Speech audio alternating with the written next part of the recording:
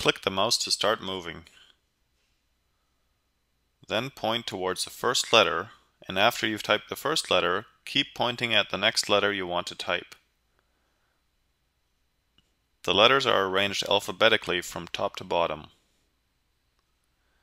If you can't find the letter that you're looking for, just point to where it should be in the interface. Eventually it will appear.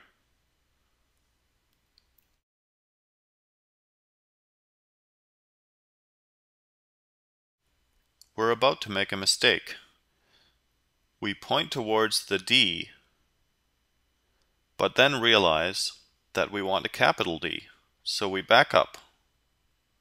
The D is deleted, and we move towards the capital region of the interface, which is yellow. Now we find the D again. Notice that it is a capital now. After the word dasher, we want an exclamation mark, which is in the green box. As we type the next sentence, I will say the word that I'm looking for before I type it. It.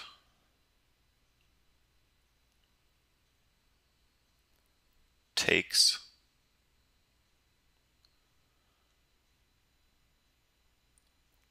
Some. Practice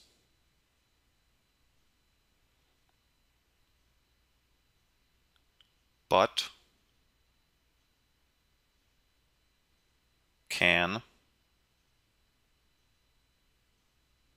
be very fast with time.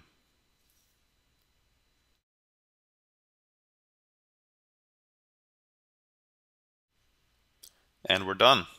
As you can see, everything we've typed shows up at the top of the screen. It can now be copied into another application or saved as a file. Thanks for watching.